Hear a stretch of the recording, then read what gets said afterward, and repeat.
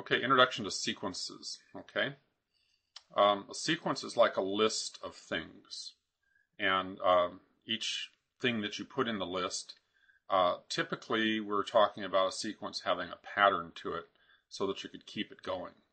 Uh, sometimes you have in mind that this will be a finite sequence. It starts at a certain number and it continues for a certain number of terms, or it goes from a certain number up to a certain number. Um, uh, sometimes it's infinite, like it's the pattern that just keeps on going with no end to it. All right. So here's a little bit of terminology for you. Uh, these are called the terms or the values of the terms. And so we could call this uh, T for term. Sometimes you just call it A. I don't know, you can put other symbols there you want. The author of this book uses T. And if it's going to be the, uh, like this one, for instance, number 8 here would be uh, t sub 4 would be 8 because this is the fourth term in the sequence. So you just put a subscript on it indicating its position in the sequence, counting from 1.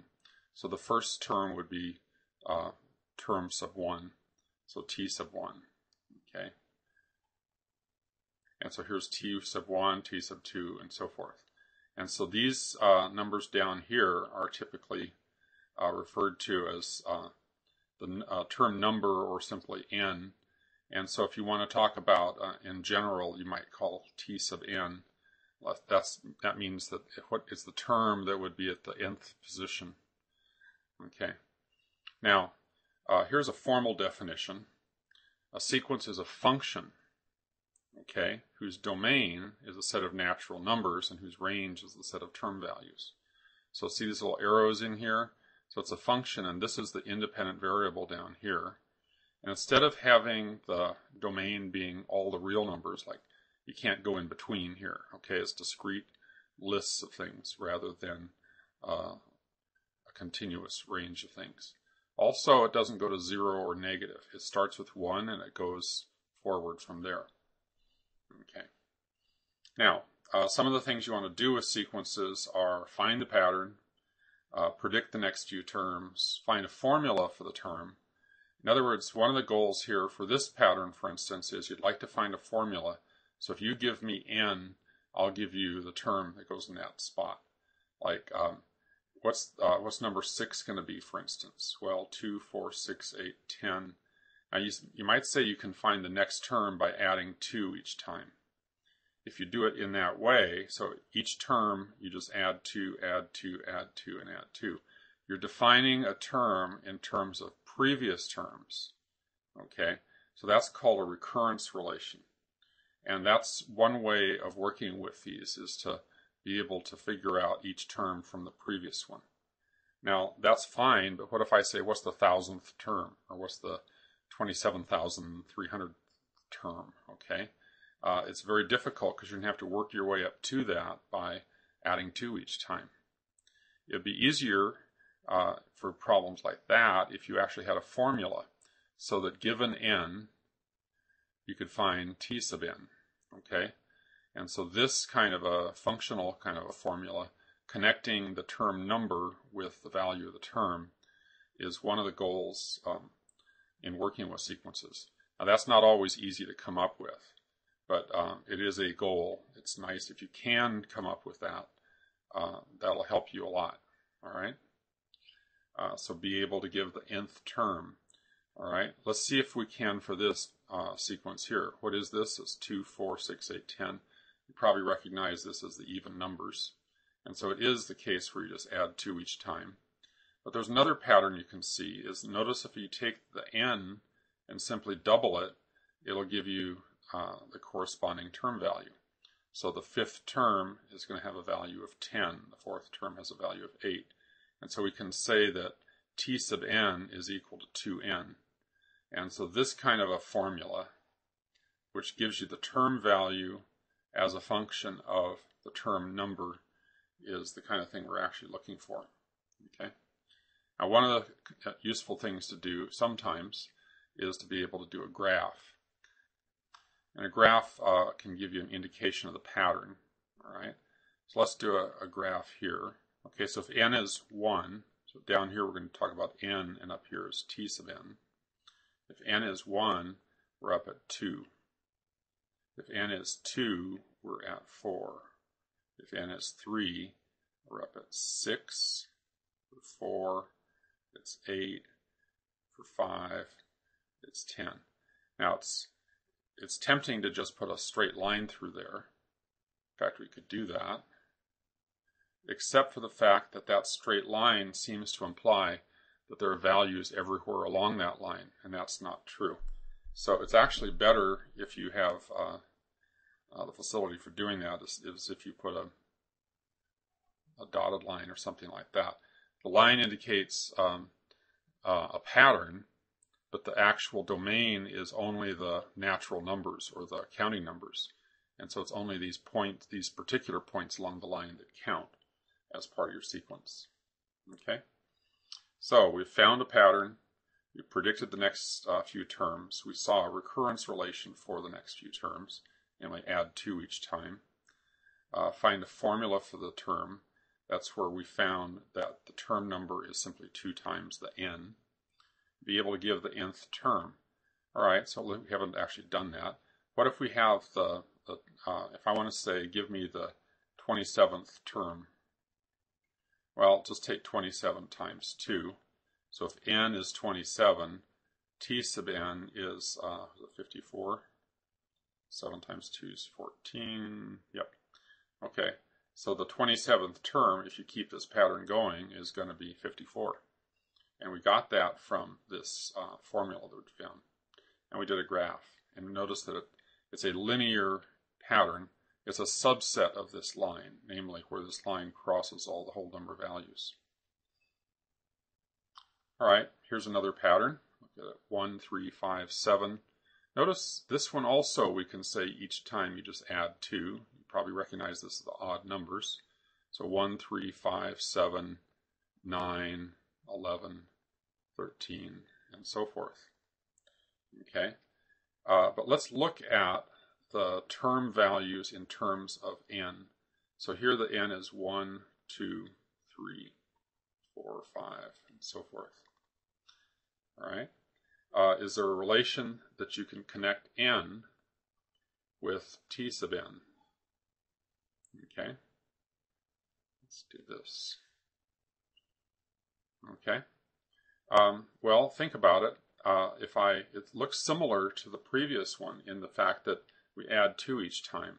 So this is seems to be going up in a linear manner. Uh, let's, and it seems like it would probably have the same slope because you go over one, you go up two, and so uh, that might be an indication. But we're starting at a different point, aren't we? All right. So what if I what if I double these? If I double this, I would get two if I double this, I'd get 4. If I double this, I'd get 6. And uh, is there some connection between that and the numbers? Well, you might notice that this is 1 less than this. This is 1 less than that. So we can come up with the idea that t sub n is 2n minus 1. Okay, so 2n minus 1. Then what if I say, what is number 6? What is the sixth term? Well, 2 times 6 is 12 minus 1, it would be 11. And the seventh term would be 2 times 7 is 14 minus 1 is 13. And what's the 85th term? Well, 2 times 85 minus 1 is 169. Okay. All right, let's go ahead and uh, graph this. Uh, notice here we have 1, 3, 5, 7, 9. So the fifth term is 9 and so forth. All right, and this is a very similar graph to what we did last time. Here, let's get the dash line facility here. Okay, so it uh, looks like it has a slope of 2 and so forth, but uh, and that might help you find the formula. Um, hmm. In fact, that probably does help you find the formula. Let's look at this. What's the intercept here? If I take this line, it's going to have an intercept of minus 1. It's almost like we're looking at the equation of the line y equals 2n minus 1, doesn't it? I mean, y equals 2x minus 1, except since we're only dealing with um, uh, whole numbers, uh, use n instead of x in that case. So that actually, the line, uh, if it is a line, it, uh, you could find the equation of the line and that would help give you the formula, wouldn't it? Okay, let's look at another one. 1, 2, 4, 8. Hmm. So find the pattern, predict the next few terms, all right? Uh, well, a recurrence way to define this is 1, 2, looks like that's double, isn't it? And then doubled again and doubled again. So if you just realize that on, in a recurring basis, I'm going to simply take the previous value and double it. So this would be 16, and then 32, and then 64, and so forth, all right? But is there some way to connect it to n? So if this is t sub n, and this is n down here is 1, 2, 3, 4, 5, 6, 7, uh, is there some way that you can see that? Well, 2 times 2 times 2, since it's 2 times 2 times 2 and so forth, uh, looks like um, a power kind of a function, doesn't it? It looks like an exponential. And if I take um, uh, 2 to the third power, 2 times 2 times 2 would be 2 to the third power, that would give me 8, wouldn't it? 2 to the second power gives me 4, 2 to the first power is 2. So it doesn't look like it's uh, 2 to the nth, it looks like it's 2 to the n minus 1. So if I take n is 2, 2 minus 1 is 1, 2 to the 1 is 2, isn't it? If n is 4, 2 to the 4 minus 1 is 2 to the third, which is 8. And so there's our relationship. So t, t sub n would be 2 to the n minus 1. All right? So this is um, this is an exponential kind of a curve. Okay, let's uh, try plotting this.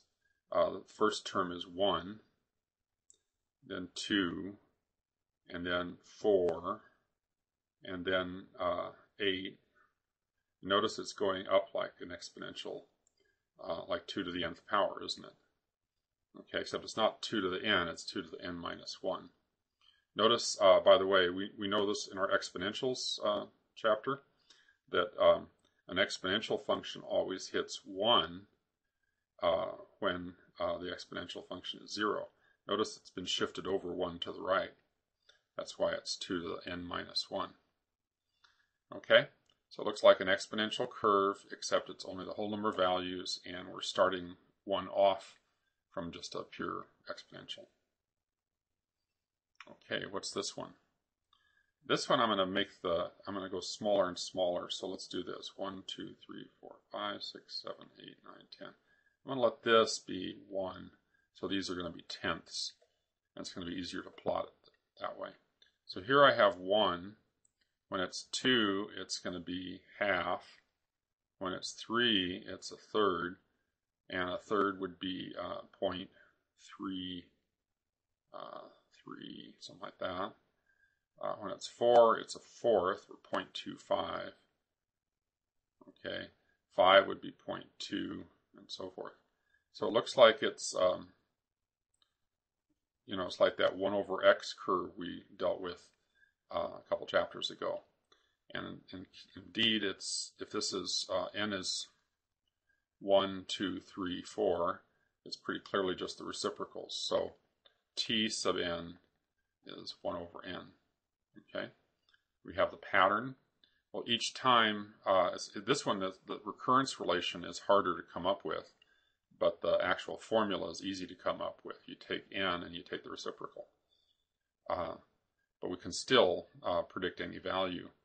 And in most cases, it's more valuable to have this uh, straight out formula in terms of n, or the functional relationship between t and n, than it is to have your recurrence relation. Okay. Could we predict the nth term for any n? Well, sure, just take its reciprocal. And here's a graph of the sequence. And so as n gets larger, this uh, function is going to get smaller. The sequence uh, values are going to get smaller. Okay, uh, so much for introduction. And there's quite a few things we're going to learn about sequences in this chapter, and then series following there, and also the difference between a sequence and a series.